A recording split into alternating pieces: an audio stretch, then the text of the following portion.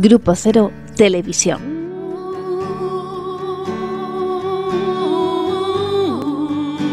Escribir hasta romperme las manos escribiendo. Hola, buenas noches. Bienvenidos al recital de poesía de Miguel Oscar Menasa. Aquí estoy porque he venido, porque he venido, aquí estoy. Vamos a leer poemas del libro La poesía y yo. Vamos a empezar por ahí. España por fin es mi país, Madrid mi ciudad. El último vals. Hay un decreto ley del 26 de agosto donde se me promulga para toda España ciudadano español, casi nativo, casi con todos los derechos, con todos los deberes.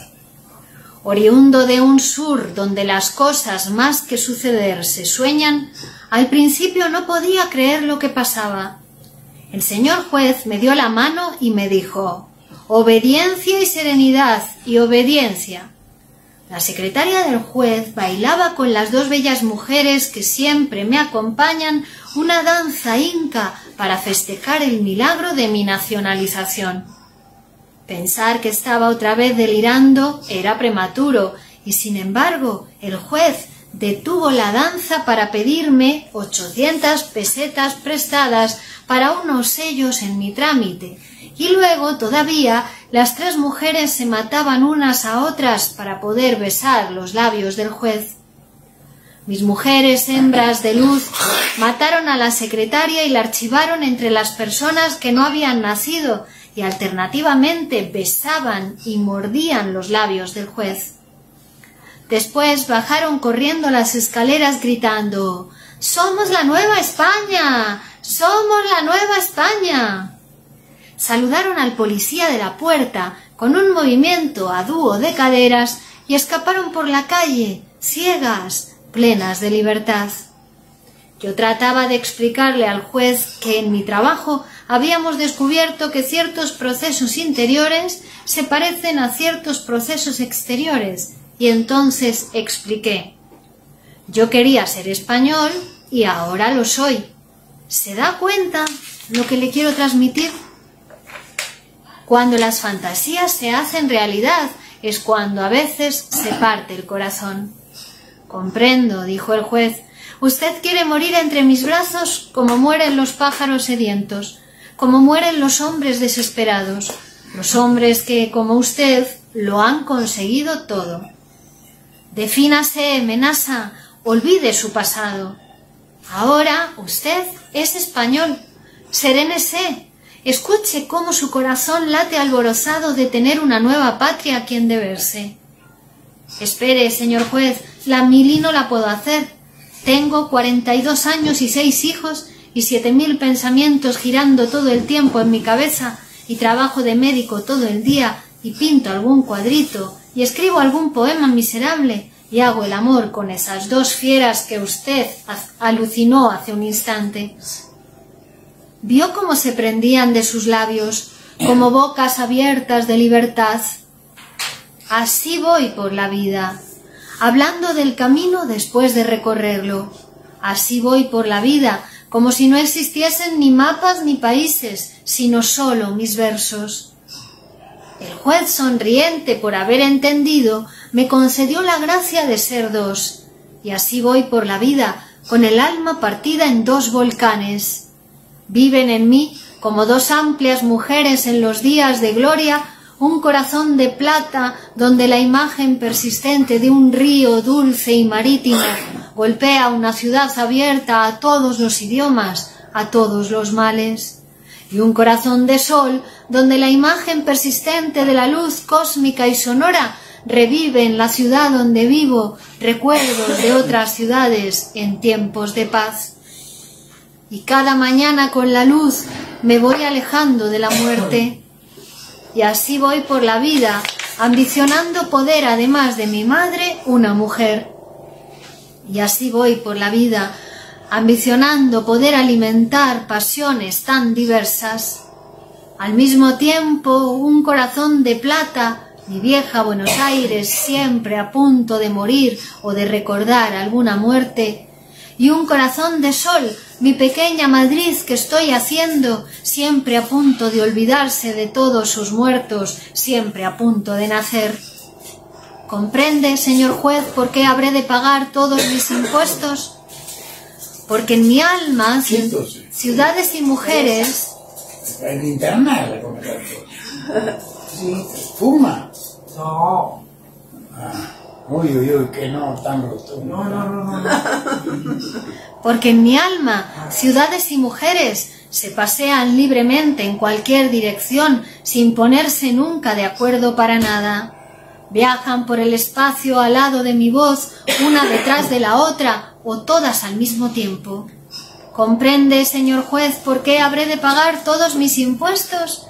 Ciudades y mujeres, y ciudades y mujeres bailando frenéticamente en mí, tratando de ser reconocidas cada una a su tiempo o todas a la vez. Por eso pago los impuestos, para que nadie me venga a preguntar por esta oceánica soledad partida en dos.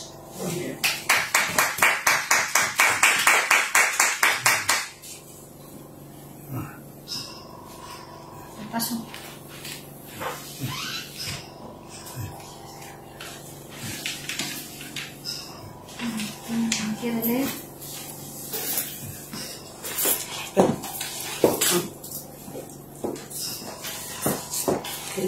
Leer o...? No, neto.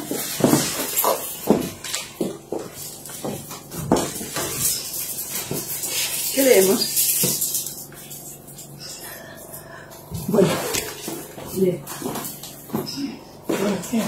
¿Por qué? ¿Te le quedas entiende todo mal. todo mal? Sí. No, luego leo. Porque nos hemos cruzado ahí. Yo, yo traía de otro libro. A ver. A ver.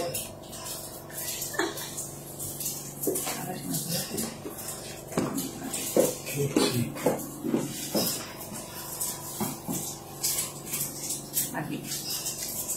Del libro Salto Mortal, de 1977. Puesta en escena. Sé que este libro no es exactamente un libro de poesías, pero sé también que este libro no es ninguna otra cosa que un libro de poesía. Solo quiero decir que sometido a sus leyes inexorables, la palabra hace sus estragos. Ella es impune, se combina con todo, ama desaforadamente las imperfecciones, su ser es todo tiempo. En, ese, en este estado, todas las combinaciones de la palabra generan poesía. Para ello es necesario que las formas espaciales, último lujo de la razón contra lo poético, humano, estallen en fragmentos. La forma será, sin más, las deformaciones que la violencia de las combinaciones le imponga. Decir, siempre decir. Dedico este libro a Juan, mis amigos, a ellas, su mujer, a todos sus hijos, muertos por la patria. Digo yo, y si me preguntan quién soy, diré que soy una serie de personas, una especie de grupo, una masa amorfa de deseos para la muerte. Tuve mi alma abierta sin compasión al mundo. Cualquiera podía arrebatar mi alegría. Yo era tu voz y el cuerpo de la lluvia. Yo era el espigado y salvaje. Jesucristo moderno. Jesucristo moderno. Tenía mis manos y mis pies perfectos. Ligeros pies, manos ligeras para la cruz. Tuve los años jóvenes y toda la rebeldía de la pasión. Tuve mi cuerpo al aire libre. Cualquiera podía dejar sus excrementos entre mis flores y partir. Yo era sus oídos, yo era tus oídos y el viento de primavera. Yo era el criminal. Tenía en medio de los genitales un corazón, un corazón sediento, un perfecto andar entre mujeres. Ya tuve treinta y tres años y fui crucificado. Dolor, dolor para el que muere todas las mañanas. Dolor para el que ya no tiene piedad de sí. Invocación a los demonios. ¿Dónde están los demonios? Aquellos que me fueron anunciados en el santo bautismo. Aquí conmigo todos los pecados y aquellos que vendrían por las noches a vigilar mi sexo, enamorado de mis ojos. Invocación a los dioses. Venid, atletas del amor, venid a destruir las diferencias, traed vuestros arcángeles a compartir mi mesa y mis olores. Mi fragancia es la fragancia antigua de los templos. Venid, venid con vuestras vírgenes.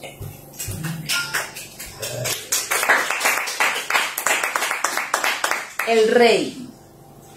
Fui, lo reconozco, el rey de la locura, el que mejor podía vivir entre fantasmas, el que vivía solo.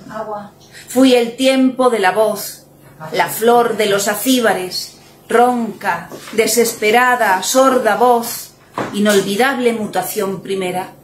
Fui un grito en medio de todos los silencios, el estallido del payaso cayendo entre las fieras. Y de este había elegido uno también. Buscando su identidad, de la poesía y yo. Soy un hombre buscando su identidad perdida. Ambiciono con violenta pasión aquellas tardes cuando caminando por la calle era un hombre caminando por la calle. Añoro con rabia inusitada esos días donde ser poeta era la luz de un verso. Me moriría por hacer el amor en esas noches donde la poesía, entre las sombras, me dibujaba como un hombre haciendo el amor. Para tranquilizarme me lo digo. Soy el poeta. Y también una golondrina que cruza los océanos para encontrar un sol que estará en otro lugar. Soy el poeta, me dijo la poesía, soy el poeta.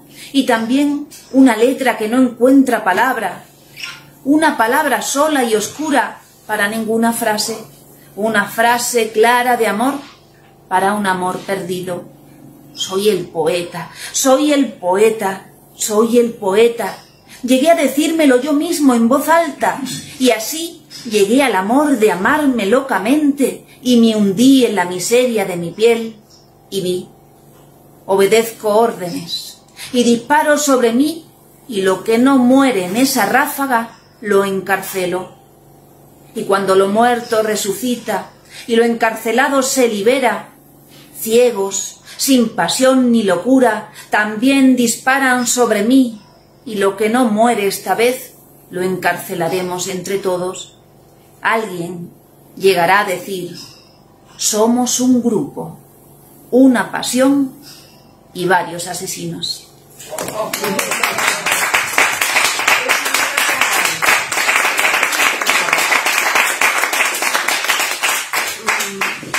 Next. Next. Next. Amelia. Iba a ser este. Teresa. Versículo 24. Si te agachas te la meto y si no te agachas te la meto también. Muy bien. Ese versículo está ahí que apuntarlo. Hay que apuntarlo.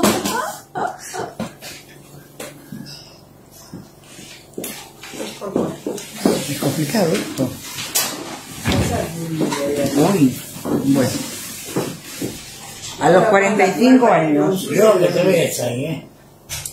sentado cerca, muy cerca de mi alma, miro las flores de mi pequeño jardín y me estremezco. Es mi jardín, una gota pequeña de mi sangre, son mis flores colores de mi vista. Reconozco crecer en el lento y pertinaz, crecer de hierbas buenas, anémonas o pequeñas caléndulas retorcidas de amor. En el centro de mi pequeño jardín está la selva, esotéricas malvas, margaritas perdidas de inocencia, pequeñas campanillas multicolores, pero con ruido a selva, a tambores alucinados, a tambores quietos esperando la muerte, a pequeños tambores de locura, a tambores valientes, empedernidos, tercos tambores que ya suenan sin manos, que ya suenan por la simple alegría de sonar, tambores, tambores negros, tambores de la muerte, arranco de mi jardín una inocencia, un don, una esperanza. Arranco del centro de mi jardín, del fondo mismo de la selva, pequeña poesía enamorada, rota de amor, futura.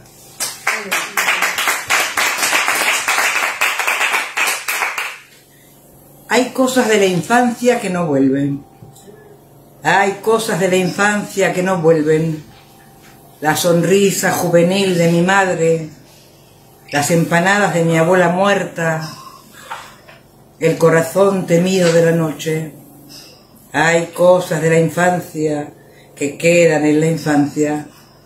La tenebrosa entrada en los infiernos, el pecado primero, la primera virtud, la gloriosa ascensión a los cielos, la vergüenza de provenir del sexo.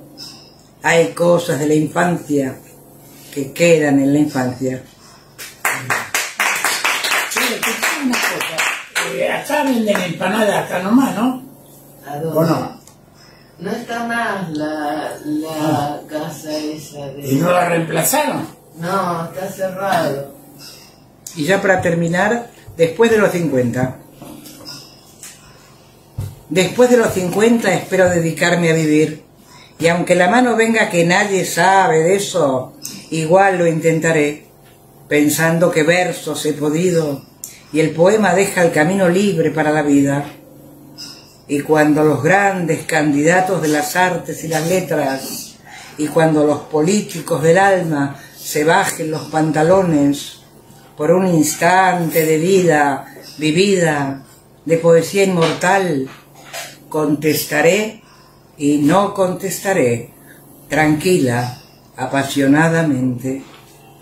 De atreverme a vivir después de los cincuenta y de la herida por la cual sangra todo lenguaje, me siento estrictamente responsable, me duele a mí. Y si vivo, y si quiero vivir como una alondra en libertad, quiero decir, quiero abrir una puerta a los misterios. Antes de vivir un instante, escribí todos los instantes. Muy bien.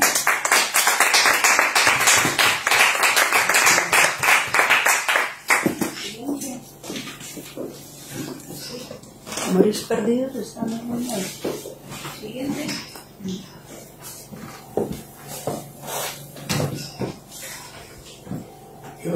Amores perdidos. ¿Eh? Amores perdidos. Amores perdidos. Está en internet. Está en internet. Hola, buenas noches. Ahí está. Es esta chica. Linda camiseta Esta- de arpillera que tenés. ¿De qué es? No sé. ¿De qué es? No sé. De arpillera. Bueno, bueno, bueno. Socorro. No puedo detener mis palabras. Llegué una tarde a Madrid y me dije, esta será mi tierra, este mi pueblo. Después fue todo mucho más difícil. Los apretones de mano del principio se transformaron en fuertes tenazas inmovilizadoras. Pude sentir que la esclavitud era mi sino, francesa que en el tango muere tosiendo y enamorada. Nací en Buenos Aires. Mi padre es árabe y nació en el mar. En Buenos Aires, al amparo de la sombra de la higuera, padre me recordaba que abuelo, cuando hablaba, siempre hablaba de España. Nuestra tierra más bella, decía, si fue patria de mis abuelos, será mi patria. Luego se perdía en divagaciones y recitaba algún poema en árabe, inscripto en piedras y pensares, que fueron para España su nacer.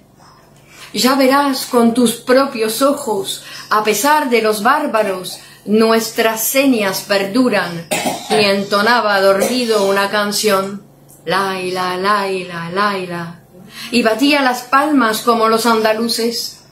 A la mañana siguiente, madre recordaba que vivíamos en Buenos Aires. Ella siempre cantaba tangos y algunas mañanas inolvidables, cuando padre se iba a trabajar, ojos verdes como la albahaca, verde como el trigo verde y el verde, verde limón. A ella le brillaban los ojos siempre, a él solo le brillaban los ojos cuando cantaba en árabe sus canciones, cuando recordaba la España del abuelo.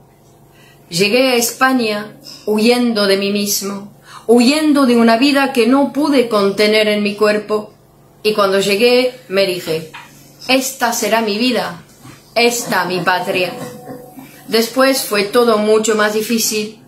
Al principio era lindo caminar por las calles, libre, me sentía libre como un pájaro, y cantaba como mis antepasados, y pensaba que la vida y el amor pueden comenzar todos los días, hoy.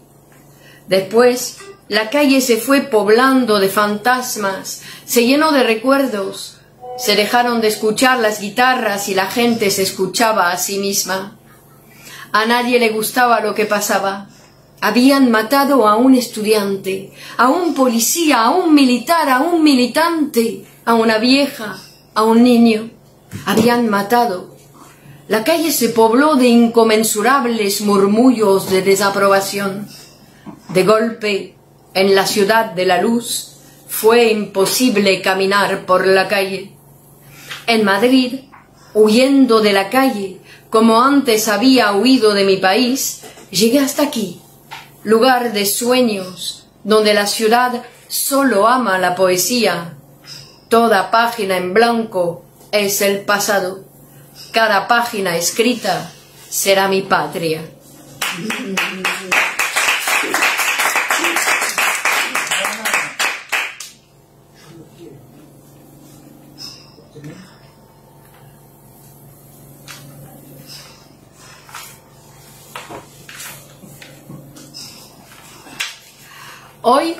Lo confesaré todo.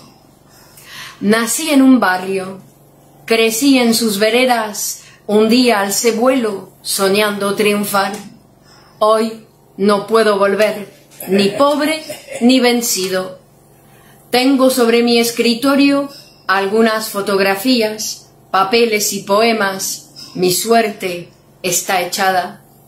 Jugaba los juegos más o menos Ganaba con algunos, perdía con algunos. No trepé nunca un árbol. Me daba vértigo la hamaca y el tobogán. Jugaba bien al monte y a la Troya y a la rayuela. Jugaba con las minas.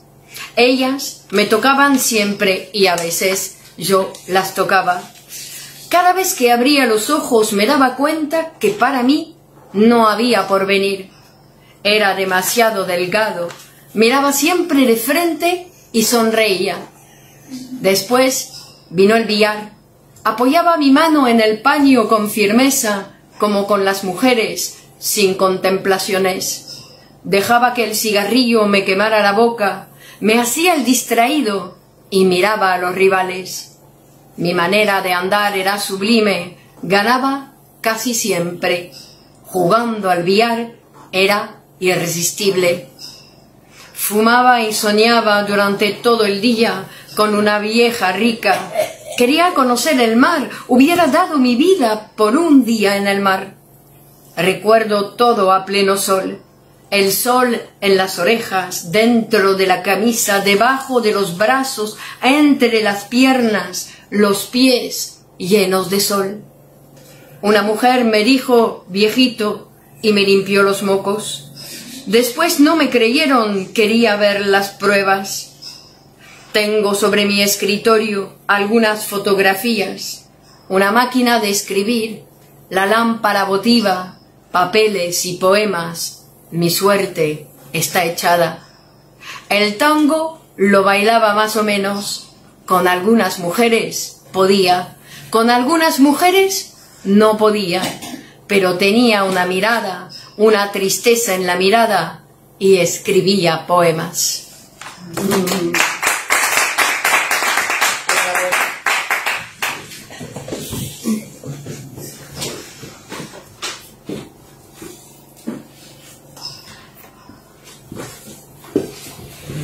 Un poco complicado llegar.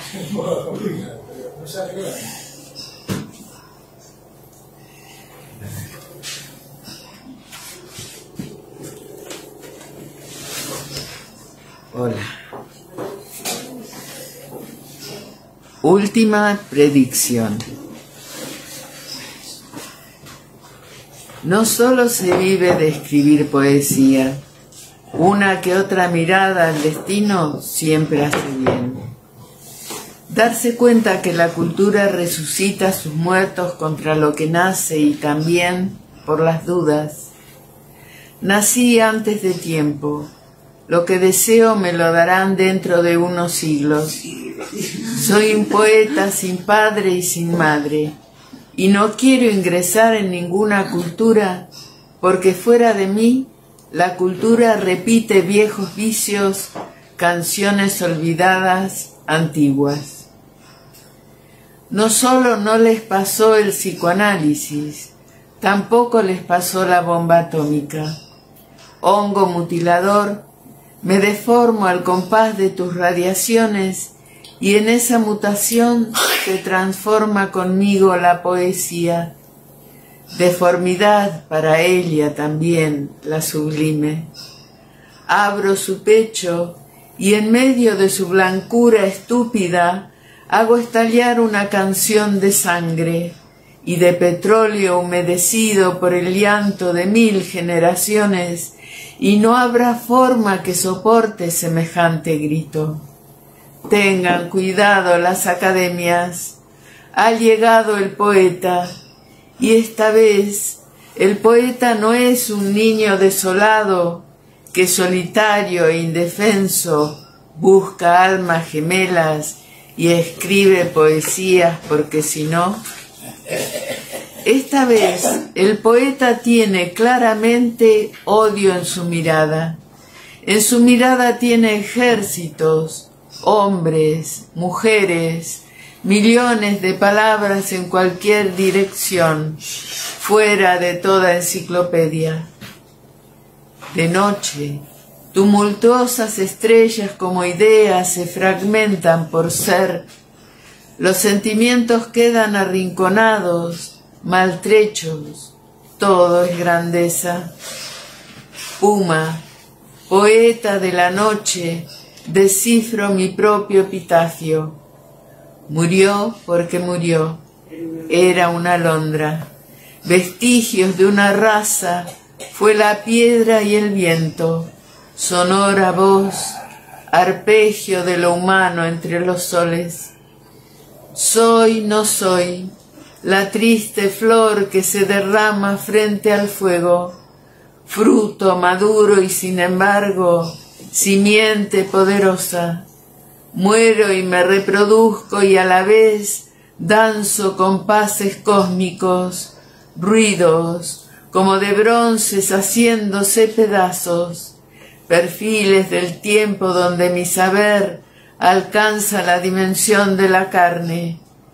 Ubre, maligna, contagiada de las peores libertades, carne en la poesía y en esa ráfaga sin dimensiones, primer bajido del hombre contra su propia eh, su propia razón de matar, contra su propia razón de vivir, grito gutural y deforme contra la propia garganta de la muerte. El hombre a sus anchas no se deja medir.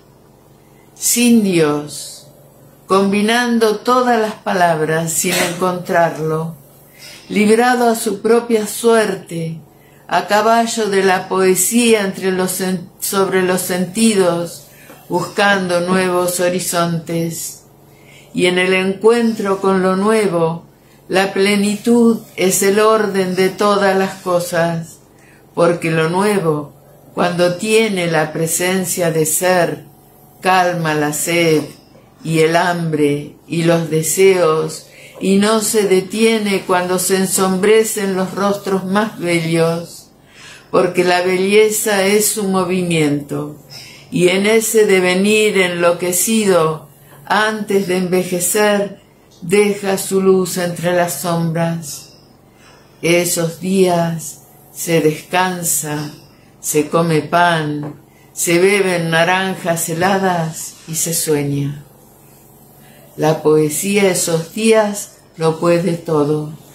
Emborracharnos de naranjas heladas hasta que nuestro cuerpo tenga el color de los frutos maduros y las piedras hablen y las gaviotas se hundan silenciosamente en el mar. Y cuando lo nuevo es inasible, poesía, por haber tejido su ser entre tus mallas, y cuando las ambiciones de lo nuevo son infinitas, por haber surgido invisible de tu ser invisible, deja también cuando desaparece, hombre y a la vez felino de la noche, sobre sus vaporosas pieles, de su paso deforme por la vida, huella feroz. Indeleble desgarro multiforme en tu belleza única, monstruosidad crecida al amparo de tus senos nevados, fuera del alcance de tus límites, silvestre y desmedido origen de mi canto, tu piel arrancada de su lugar y todavía bella.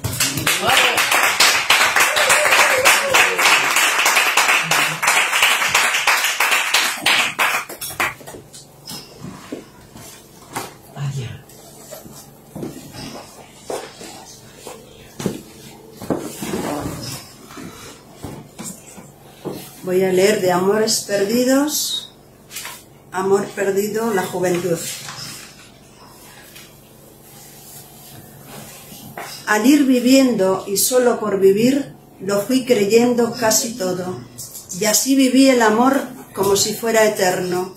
Y así juré por la amistad en falso.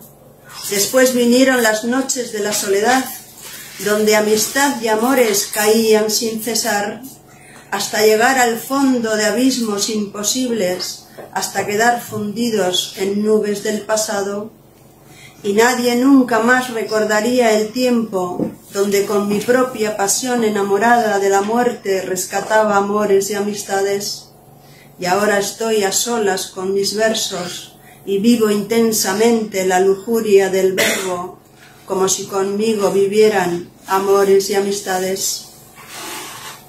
Cuando todos esperaban mi desaparición, desaparecía. Era perfecto encanto de la poesía todo confort. Un buitre almacenando su propia carroña, una tristeza empequeñecida por el logro de ser. A cielo abierto tocaba nota desesperada. Amo y soy amado. Terca serpiente amada, atada a mi garganta. Hoy te lloro, te hago pedazos en mis ojos, tengo conmigo esa crueldad ambicionada.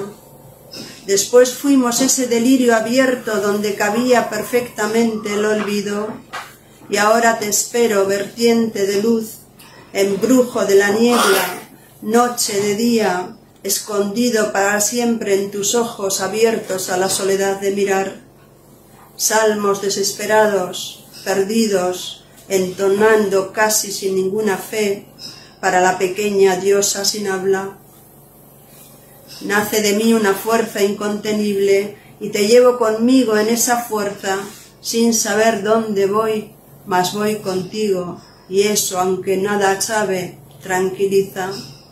Después seguramente al separarnos preguntaremos a cualquier ciudadano en qué lugar del mundo hemos caído, a dónde hemos llegado llenos de amor y no han de responder ni las estrellas. Ninguna palabra llegará hasta nosotros, nadie nos dirá que estamos en el mundo. Y sin embargo, ciegos y sordos, solos, ignorando el punto de llegada, pobres, nos sentiremos libres, letras muertas. Nunca te dejes llevar por torpes sentimientos, no ames demasiado el puro amor del alba, ni bebas demasiado del néctar de los labios, ni mires demasiado televisión por las noches, ni vayas a la guerra, ni mates por la espalda. No te dejes coger por las miserias de los ricos, ni por las ambiciones malignas de los pobres. Tú tranquilo, hombre, que no pasa nada. No te dejes engañar por el amor de un hombre, y mucho menos por el amor de uno. No te dejes engañar por el amor de una mujer, y mucho menos por el amor de un hombre. Lo mejor de todo es no servirle a nadie y trabajar duro por las dudas, nadie te sirva a ti.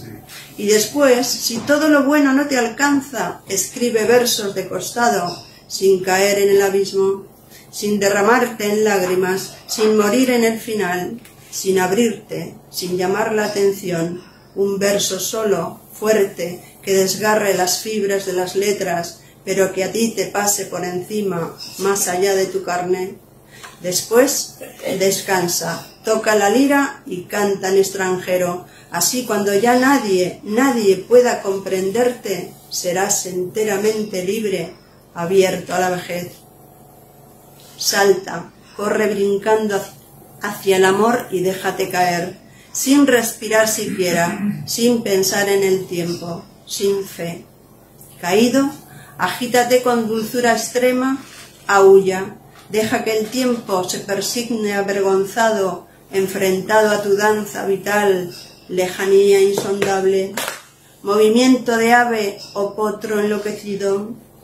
Deja que la miseria te empape con su olor a desgracia, que la vida y los colores de la vida te dejen ciego, y así, sabiéndolo, has de morir tranquilo, sin deberle a la vida, ni a ningún dios extraño, ni a espíritus modernos, ni a la carne, nada. Sin deudas, alborozado por el movimiento de los astros, abrazado a cualquier amor se precie de moverse a volar, así, sin nerviosismos o cálculos perfectos, así, se muere y se vuelve a nacer si es necesario, cada vez, todos los días, algunas noches, siempre.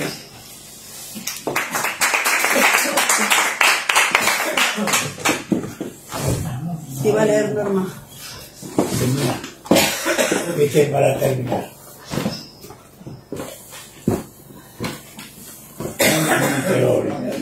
Sí, me parece, ¿no? Muy bien. No, no importa. Bueno, todo es Alguien perdonable, tiene que equivocarse. Vamos a leer de 21 de enero de 1977. ¿Cómo? 21 de enero de 1977. Ah, cuando llegaba recién. Sí. Soy poeta, me digo, como ayer, y sin embargo amo lo que me retiene. Ansío volar y me la paso girando por la calle tratando de encontrarme. A ciegas tropiezo con lo que no soy y con otros ciegos. Y así nos vamos divirtiendo. Y por haber chocados unos con otros y por haber fundado en ese goce de la carne nuestro cuerpo, llegábamos a reírnos de todo. Guerra, hambre, poseídos y desposeídos. Fuimos perdiendo nuestro deseo de liberarnos. Entre las cadenas, el goce de la carne en nosotros era bestial. Después hubo que fragmentar aquel inolvidable cuerpo del amor y llegamos a decir, antes de la catástrofe, zarpar para curarnos la ceguera. Y llegamos a pensar que sin saber por qué, destruíamos lo que nos había sido otorgado para salir disparados sin direc- dirección a la búsqueda de algo que en otros momentos pensábamos imposible. El microscopio contra nosotros mismos, decíamos, y nos reíamos como locos. Comenzamos a torturarnos entre nosotros para arrancarnos la verdad. A veces, por ciertas y exageradas pasiones en el manejo del método, llegamos al odio o bien al amor, con quien no debíamos hacerlo, con la simple intención de dar un paso más. Ven, cuéntame todo. Y así nos hundíamos en la sombra de la noche. Convivir un instante alcanzaba, el resto era contarlo. Pero todavía no sabíamos hablar, y entonces balbuceábamos y nos lastimábamos con el roce de las cadenas, y cada uno quería todo el tiempo para su pequeño balbuceo, y nos matábamos unos y a otros, y en nuestros ojos veíamos como la luz. El hombre, en general, es un hijo de puta. Alguien recordó que el hombre que estábamos investigando éramos nosotros mismos. Hubo reproches, huidas, desapariciones inesperadas, suicidios. Se terminaron constituyendo dos bandos, cumplir con el, con el pacto o bien no entregarse bajo ningún concepto a semejante barbaridad. Y ganó una vez más el silencio, la antigua represión y si alguien pretendía seguir hablando, se lo aislaba, y cuando seguía hablando se decía de él, mira lo que le pasó a ese hombre en la vida, dice esas cosas porque es un solitario, nunca vivió con nadie. En ese momento los escritores también tuvimos nuestra locura. La mayoría empezó a decir que estábamos otra vez ciegos. Estar ciegos es mejor, gritaban los más fanáticos. Volved a la ceguera, hermanos, y junto con la ceguera volverá el amor. Y los que no podíamos mantener sus ojos cerrados, se arrancaban los ojos para no ver. Y después, tranquilamente, se iban a trabajar o hacían el amor o se tomaban un trago de vino y eran felices. Bueno, 1977.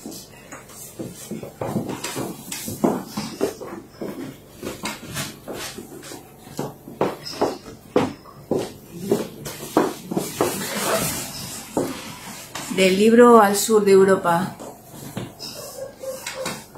Cuando la vi llegar, cuando la vi a punto de caer toda ella en mi vida, cuando me vi aplastado por la muerte, me perfilé como una sombra, fui tiempo del espacio, medida de nada.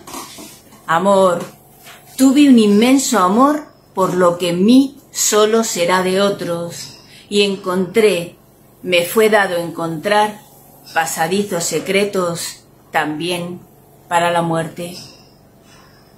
La vejez a mí también quiso tragarme.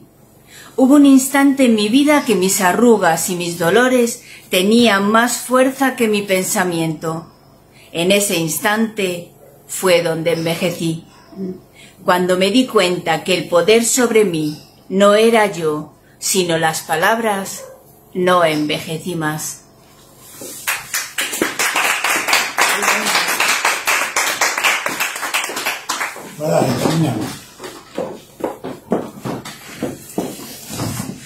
Está bien, ¿eh? La poesía no se enamora nunca. Vivir acompañado no es un consejo, es la única manera de vivir. Y aprovecho el decir para dejar en vuestra inteligencia la enseñanza más bella. La poesía no se enamora nunca. La poesía no se enamora nunca, mas, sin embargo, tiene como amantes a todo aquello que aumente su belleza, su valentía, su fuerza, su poder hombre o madera, no le importa. El hombre debe ser ejemplo o novedad, y la madera, además de ser bella y delicada, debe servir para la cuna o bien el ataúd. Mujer o ciencia no le importa. La mujer debe ser ejemplo de libertad y la ciencia, además de compleja y exacta, debe poder amar el mundo transformarlo. Niño o maestro, nada preguntará. El niño debe ser ejemplo de crecimiento y el maestro, más allá de enseñar a leer y escribir, un día deberá de tener su propio crecimiento para que en el mundo un niño se haga hombre. Flor o diadema, todo lo sabrá. La flor ha de ser bella y siempre morirá. Y la diadema, además de brillar siempre, aprenderá a apagarse cuando muera la flor. Elefante taciturno o caballos desesperados. La poesía tiene sus cementerios y también sus praderas infinitas, pero el elefante tendrá que aprender a no dejarse doblegar por la muerte y al morir tendrá que estar acompañado. Y los caballos podrán volar y amar si quieren, pero han de ser siempre caballos que saben apreciar las diferencias entre galope y desenfreno, trote y sometimiento. Y al detenerse el caballo en un poema, todo el mundo querrá verlo volar. Y si el poema fue escrito por un hombre, caballo volará. Y al detenerse, algo en el mundo se detendrá. Y habrá un verso que nadie escribirá un doble espacio lleno de caballos al trote, galopando, detenidos, volando arrebatados. Muy bien. Bravo.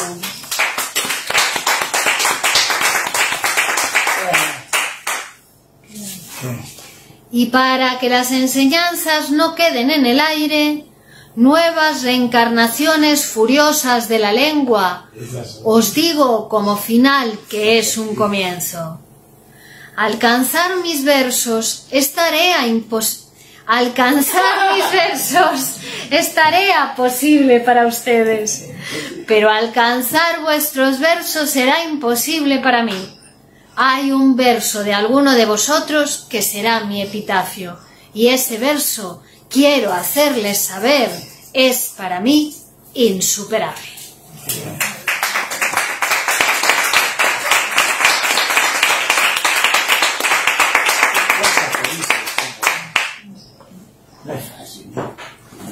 ¿Y qué manera de decirlo?